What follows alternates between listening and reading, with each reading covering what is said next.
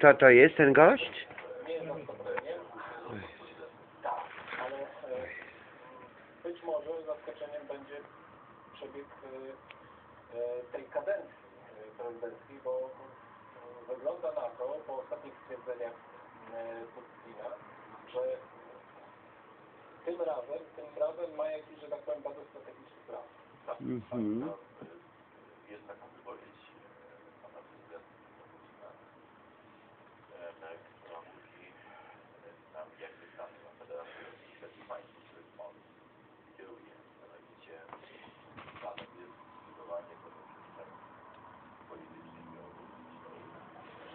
Поцелуйте, поцелуйте.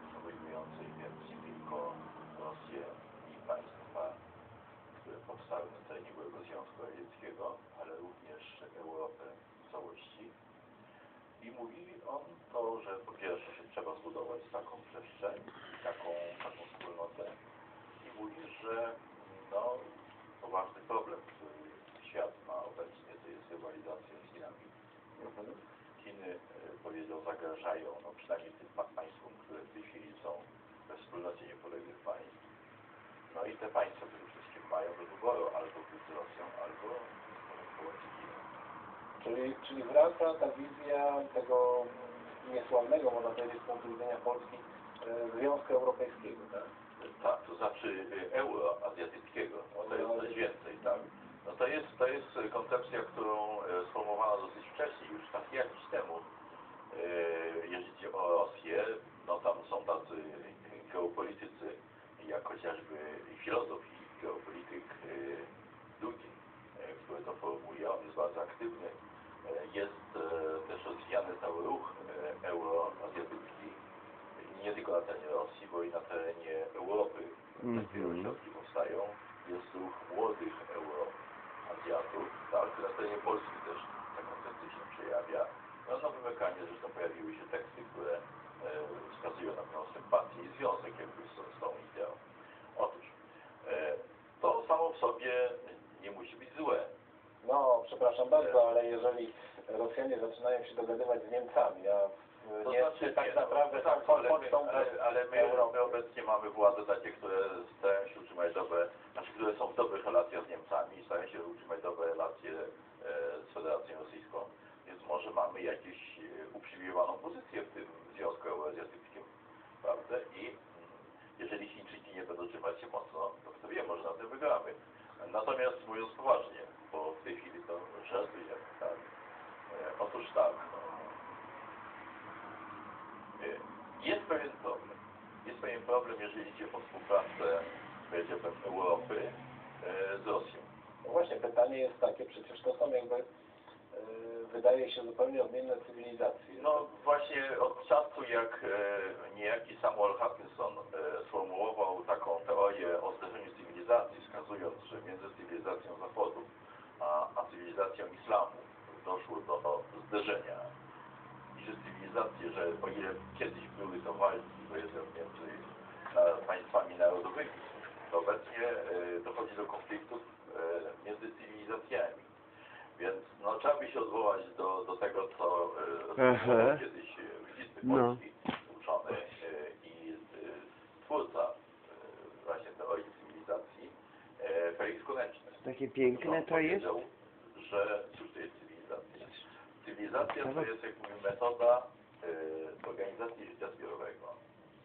A więc wszystko to, co stwarza e, w pewnym kręgu e, ludzkim, no, harmonijną współpracę. No i on y, wykazywał, że, że istnieje kilka cywilizacji współcześnie, które występują.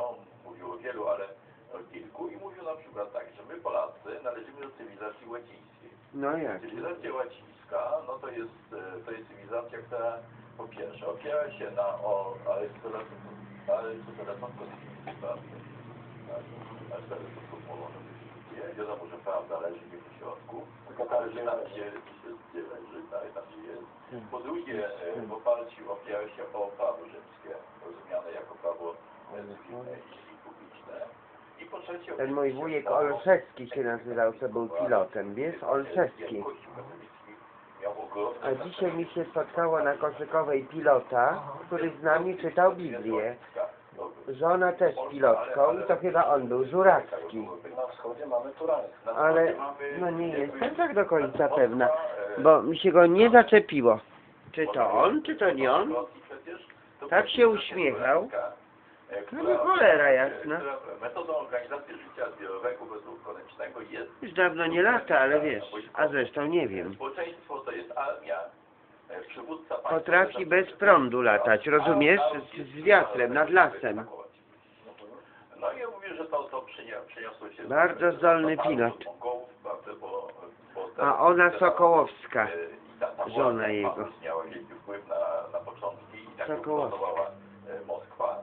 Natomiast w którymś momencie Moskwa przyjęła, przyjęła e, religię e, e, chrześcijańską i to był model, który przyszedł z Bizancjum. E, I jakby drugim, drugą konkurującą na terenie Rosji e, cywilizacją jest cywilizacja bizantyjska. Czyli biurokracja. Mhm, biurokracja. Znaczy, co to mhm. metodą organizacji zbiorowego sytuacji e, e, bizantyjskiej jest, e, są rządy biurokracji. Jest biurokracja, która wszystko organizuje, zarządza, a więc powiedzmy taki zarząd.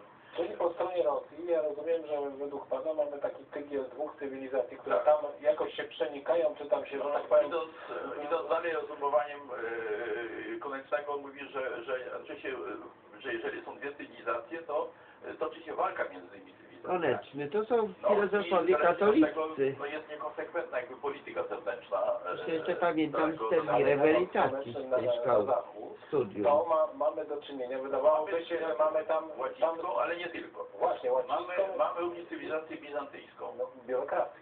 Tak, biurokrację, no jeżeli spojrzymy na Unię współczesną e, i na e, Brukselę, no to powiedziałbym, że te struktury biurokratyczne widać, że, że są no, namacalne, tak? Czyli jest możliwe porozumienie, jeżeli, jeżeli by doszło do e, takiej sytuacji, e, że, że podstawową cywilizacją będzie cywilizacja bizantyjska na zachodzie i podstawową cywilizacją będzie cywilizacja bizantyjska na wschodzie, Tak. to oni będą mogli się bardzo po prostu po prostu No, dogadać. z- tego typu Mhm. rzeczy, e, takie rzeczy dochodziły do skutku. E, Przykładem e, są sympatie rosyjsko-niemieckie, raczej rosyjsko-pruskie, ponieważ według Konecznego Prusacy przyjęli jako spadek po zakonie krzyżackim cywilizację bizantyjską. Rzeczywiście cywilizacja bizantyjska miała w pewnym okresie na terenie Niemiec bardzo duże wpływy. Mhm. E, cesarze e, rzymsko-niemieckiego sp- sprowadzali z Bizancjum e, sobie i myślicieli, i urzędników, Mhm. żenili się z córkami cesarzy bizantyjskich. Bizancjum więc przez pewien okres czasu miało wielkie wpływy. Również na terenie Włoch też, chociaż tu na szczęście istniało papieństwo i Kościół katolicki trzymał swoją pozycję. Otóż e, ten bizantynizm został również dzięki temu, że w którymś momencie doszło do pęknięcia, chrześcijaństwo i powstał protestantyzm, który wyraźnie chce się podporządkować władzy, bo istotą jakby e, chrześcijaństwa bizantyjskiego jest, że najwyższym e, kapłanem jest cesarz. No panie profesorze, dobrze, ale No, to powiedzmy z tej cywilizacji tutaj dochodzimy do takiego wniosku, że, że jest to możliwe, natomiast e, oprócz tego ta, że tak powiem, ta struktura euroazjatycka, moim Tak. zdaniem, miałaby szansę tylko wtedy, gdyby Rosjanie, czyli Putin, miał jakąś propozycję dla Niemiec, taką, Tak. która by była dla nich atrakcyjna. No tak. Jaka to może być propozycja w tej sytuacji, jaka, jaka no w tej znaczy, ja myślę, że, ja myślę że, że ta propozycja e, polega na tym, żeby Niemcy znalazły się w pewnej przymusie ich pułapce. E, Ta pułapka to jest gaz. Znaczy dostawa, e, budowa tych gazociągów, które są wyraźnie dedykowane Niemcom, Mhm. e, no nie Dookoła tylko Polski. zadowoleni, ponieważ dostają e, e, surowce energetyczne po niskich cenach, tak, inaczej niż Polacy, którzy płacą najwięcej z tych wszystkich rzeczy odbiorców. Otóż mogą być tym zadowoleni, ale jednocześnie nie zdają sobie sprawy albo, e, albo chcą tak, dlatego że ich to uzależnia jednak od, od tego, od tego rosyjskiego gazu, a więc są jakby, znaczy Rosja moim zdaniem chcą zbudować tę przestrzeń, próbuje zarzucić taką siatkę tych rurociągów na Europę, tak, żeby mieć ją w swoim zasięgu i żeby mieć argumenty no, do przekonania. Ale to jest czynnik ekonomiczny, ale według mnie, jeżeli mówimy o, o, o cywilizacji, jeżeli mówimy o takim związku, musi być też e, to powiązanie społeczne. Powinno być, ale moim zdaniem, to znaczy, y, to dostrzegają tacy ludzie jak Putin, e, tak, ale to nie musi dostrzegać tego e, e, Putin. się sądzi, że jeżeli uda się zbudować pewne współpracę handlową, gospodarczą, to, to, to powinno wystarczyć. E, zakładając, mówię, że będzie miał tę siatkę i zakładając, że nie będzie miał przeciwników. Jeżeli tutaj pojawia się właśnie niestety rola Polski. Ponieważ Polska jest e, w swojej masie bardzo związana z religią katolicką. Mhm. E, A religia katolicka, jak wspominam, to jest moralność, to jest etyka, to jest ten e, jądro e, cywilizacji łacińskiej. W związku z tym moim zdaniem e, niszczenie polskości, próba jakby wyperswadowania nam, że Kościół, że religia, że te wartości nie mają żadnego znaczenia, bo przypominam, że wcześniej w Unii Europejskiej udało się chrześcijańskie korzenie wyciąć. Tak, mimo tego, co mówił papież, Czemu? mimo tych wszystkich ostrzeżeń, prawda, że Nie, jest katolicki. wspólnoty europejskiej bez oparcia o, o korzenie chrześcijańskie, że na tym się Europa przecież e, zbudowała, no to zwycięstwo bardzo dokładnie. To wprowadza się chciał w wyciąć. miejsce, tak? Się udało. Więc to się udało. I tu zostaje powiedzmy no, taki kraj jak Polska. Może Węgry ostatnio też tak się pojawia, tak? A więc są to kraje, e, narody, które mają silne przywiązanie i jakby miesza się w cywilizacji łacińskiej i w związku z tym przeszkadzają e, i e, Bizantyjczykom, tak, i Turańczykom, tym wszystkim. No, może być tak, że... że A jaki rodzaj wartości e, mają do zaproponowania ci Bizantyjczycy, można powiedzieć wschodni i zachodni? No, porządek pewien biurokratyczny. Odung Muzain, tak się nazywa? No to jest porządek biurokratyczny, prawda? No Rosja się nie kojarzy z porządkiem. Nie, Rosja, e, właśnie to jest pytanie, Rosja jest pakrzyszem, prawda? czy, turani, tu, czy nie zwycięży turanizm, bo może być tak, że, że w Rosji to zdarzało się, tak, że w momencie, kiedy pewne e, wpływy e, przy pomocy tych bizantyjskich sposobów nie, nie, nie przynosiły efektu, to używano siły. Prawda? No i wtedy, no, na wszelki wypadek, zdaje się, Rosja buduje armię ekspedycyjną, silną armię ekspedycyjną, włoży duże nakłady na, na, na armię. To oznacza, że te wpływy bizantyjsko-turańskie tam ciągle ze sobą walczą. To oczywiście źle rokuje przyszłości Rosji, bo, bo, bo przyszłość, e, tu się po sposób znowu konieczny, wtedy jest zagwarantowana, jeżeli e, społeczeństwo dane żyje w ramach jednej cywilizacji. Tak? Jeżeli następuje konflikt cywilizacyjny wewnątrz społeczeństwa, znaczy, że to państwo nie będzie powiedział konsekwentnej polityki wzajemnie sprzecznej i będzie podejmowało klęski. I tak było. Tak? E, współpraca e, Stalin Hitler e, w 1939 roku była w zwycięstwie bizantyjczyzmu, tak? Natomiast wzięli się panowie za łby, kiedy koreański popyt zwyciężył. To w wielkim skrócie. A więc problem, który przed nami stoi, to jest taki. A co właśnie, co, my- co my jako Polacy, ja już nie mówię o tym rządzie, który jest, No tak. bo od niego musimy abstrahować. Może A to jest Radia Maryja? Nie, nie, nie. Ale to my powinniśmy tak naprawdę... Może, Nowy może, ekran, może telewizja nowy y, rządzeni przez nieświadomych tego Bizantyjczyków. Tak. Nieświadomych tego, bo to nie musi być jakaś takiego głębokie przekonanie, tak? Do, do jakiego wzorca cywilizacyjnego się y, y, sięga. Może ci ludzie, którzy są na rządzie, są przekonani, że, że no, działają zgodnie z tradycją polską, tak? I z polską, z polską y, formułą cywilizacyjną, y, obu łacińską może. Ale, ale nie ulega wątpliwości, że mają wielkie zrozumienie dla, dla biurokracji. W Polsce się rozwija strasznie biurokracja. Zauważmy, że te tendencje nasze cywilizacyjne sprawiły, że w Konstytucji mocno podkreślono, że samorządność jest strasznie ważna. Tak? To pomocniczości, przekazanie jak najwięcej spraw jak najniższym obywatelom. To jest wpływ cywilizacji łacińskiej. A z drugiej strony roz, rozwijanie de facto biurokracji straszliwe, tak? I podporządkowanie się wszystkim zaleceniom biurokratycznym, no takiego stołkiem z Bruksela, wskazuje, że bizantynizm zaczyna górować, jeżeli idzie o elity. No. No i tutaj powstaje problem bardzo, bardzo poważny, to znaczy, Ale wracam do pytania, co tak naprawdę my powinniśmy w takiej sytuacji dogadywania się tego, nie, tego, tego, tego niedźwiedzia e, z, z, o, ze wschodu, prawda? E, Z tymi Fryderykami z zachodu.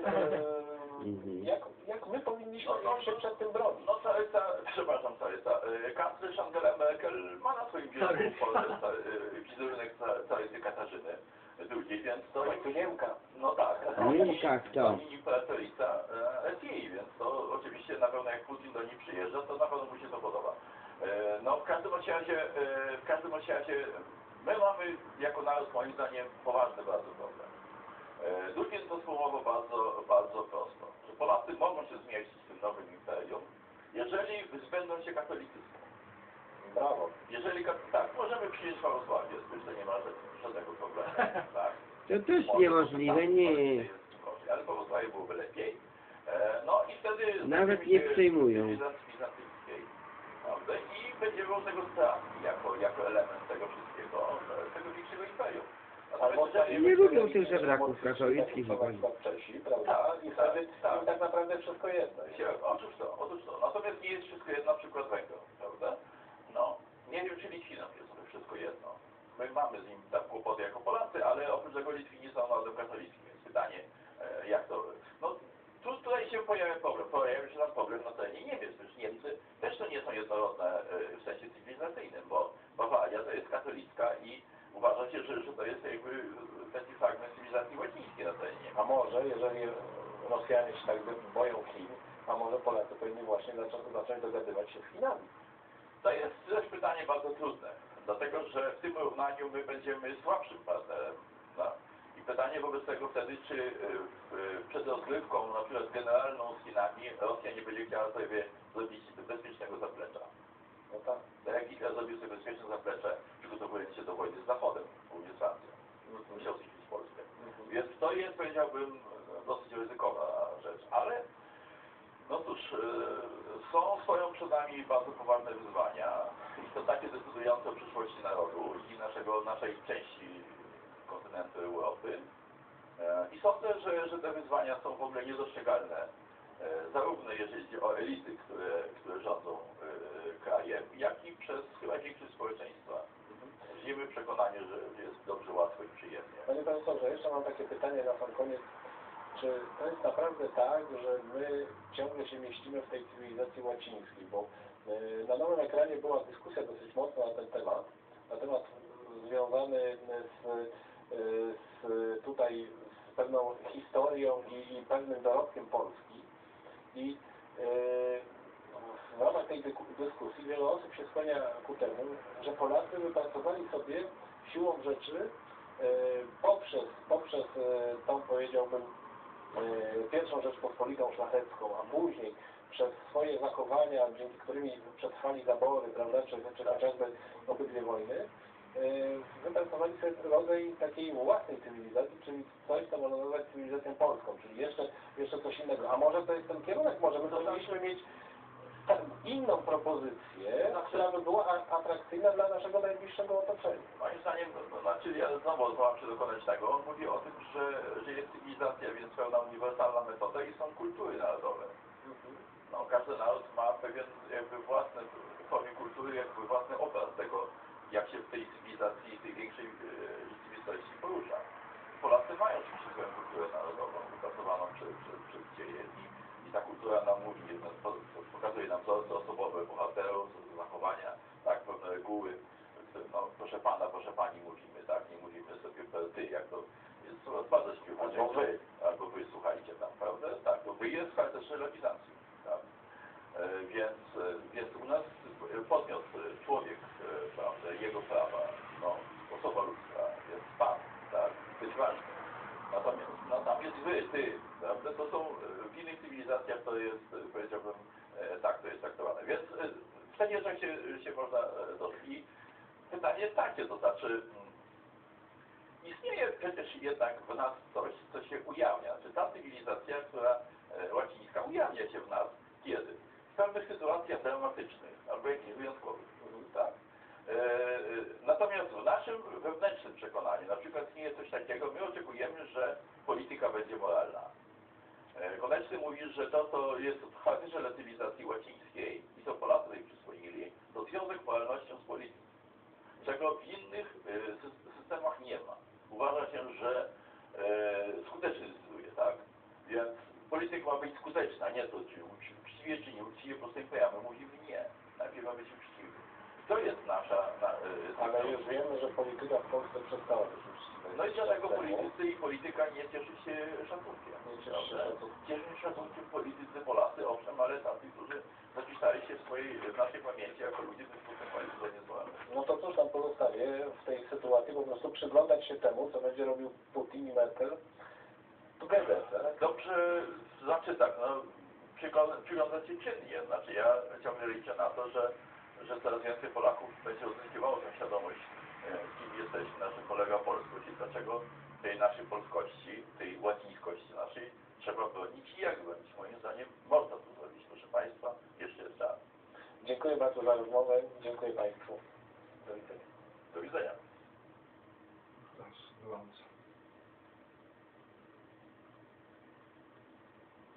No i teraz właśnie ci Turanie, zwyciężyli Barmię. Wojna to jest Turanie, Turańska.